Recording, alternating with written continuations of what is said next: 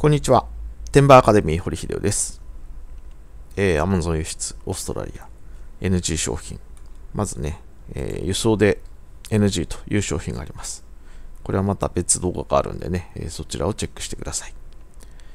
で今日は、えー、オーストラリアに、え入国通関できないもの、オーストラリアで NG となっている商品について、え解説します。まず結構ね、あります。輸入品目規制、禁止。もうこれははっきりもう入れらんないと。ね。え危険な犬5種、土佐犬を含む。まあ、犬を輸出することはないでしょうけどね。えー、危険な犬5種は輸入できないと。で、自殺用具。ね。自殺用具はオーストラリアに入れらんない。精神活性物質。ね。これも入れらんない。まあ、この禁止事項のはね、えー、ほとんど私たちには関係しないです。ただね、輸入制限、これ他の国は大丈夫。日本にも輸入できる。日本の市場には普通にたくさん売ってるというのでね、えー、入れらんないという商品がね、結構あります。これね、チェックしてください。で、注意すべきは、もうこれに書いてない、ね、該当しない商品は、えー、全部入れらんないのか。ね、はい、全部輸出できるのか、ね、オーストラリアに輸入、輸出できるのかというと、えー、そうとも限らないと。ね、オーストラリア、これね、品目出てないけど、なんでダメなんですか？と言ってもね、えー、実際やってみてダメという商品もあります。まあ、逆にね、えー、ダメなはずなのに入っちゃうという商品もあります。えー、これについてはね、えー、まあ、実際、オーストラリアについては特にそうなんですけど、えー、ルールと運営がね、え、違うっていうのは、まあ、ざらにあるんで、まあ、えー、少量試してね、儲かる商品は少量試して、で、大丈夫なことを確認してから量を増やしていくというのをね、え徹底してください。で、なんでこれがダメなんですかとかね、あるいは、えーこれがダメってことはこれもダメなんでしょうかねとかね、これとこれは違うから大丈夫でしょうかというのはね、基本的に少量を試して、えー、1個で試してからね、えー、どんどんやっていくんですけど、まあ、えー、質問はね、え質問していただければ、ある程度予想はつきますんで、えお気軽にご質問ください。で、特に、まあ、え日本で高く日本で安く仕入れられて、え、日本製品が高く売れるもんでね、エアガンがあるんですけど、オーストラリアね、エアガン全く NG です。非常に厳しいです。ね、日本で銃持つのとほぼ一緒。ね、持ってただけで逮捕されます。割り合わないですよね。えー、まあ、オーストラリアにはエアガン輸出できないと。で、えー、他、検疫がね、世界一おそらく厳しいです。今まで26カ国かな、行った中で、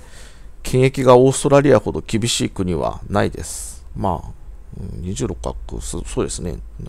ほぼ先進国と言われるとかほぼ言ってますから、そう考えるとね、えー、世界一厳しいっていうのはおそらく間違いないと思います。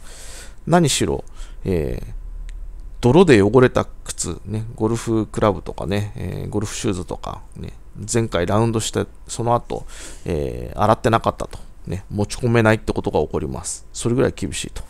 あとね、えー、アメリカに輸出してた方とかね、えー、日本で納品、FBA 納品してる方、まあ、中古の段ボール使うと思うんですけど、オーストラリアはやめた方がいいです。えー、スーパーからもらった段ボールとかちょっと汚れてるとかね、え汚れた段ボール入んないです。ね、いやいや泥がくっついてるかもしれないから汚れてるからダメ。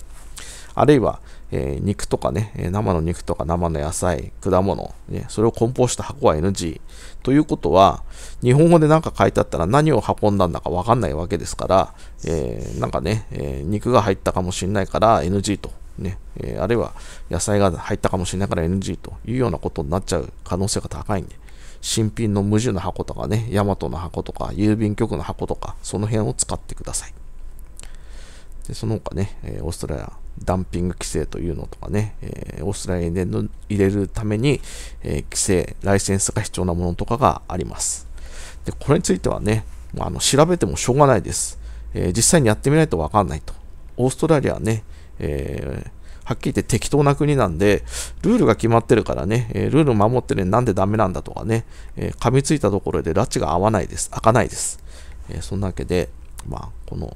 意外に意外にというかね、あの、オーストラリアは規制されてる商品が多いんで、えー、一度にね、えー、価格差があるというのでドバッと入れるというのはやめた方がいいです。で、またね、えー、特別な輸送方法で運んでる、あるいはね、え、規制はあるんだけど、え、少量だから、え、入っちゃってるという商品もあるんで、オーストラリアの eBay とかね、えー、Amazon で出品があるから、えー、オーストラリアに入れられるという判断は、えー、全く、えー、見当違いというかね、えー、当てにならないんで、え、やめてください。え、この項目にね、え、該当しそうなものは、え、私にどんどん質問していただいて、まあ、一個試しましょうという形になるのがね、え、まあ、え、これこれこういう理由で無理でしょうという返事になるのか、ね、聞いていただいた方が、え、はるかに確実です。そんな形で今日は、えー、オーストラリアアマゾン NG 商品のね、えー、中でオーストラリアに、えー、入国できない、通関できない商品の、えー、規制についてご紹介しました。以上、テンバーアカデミー、堀秀夫でした。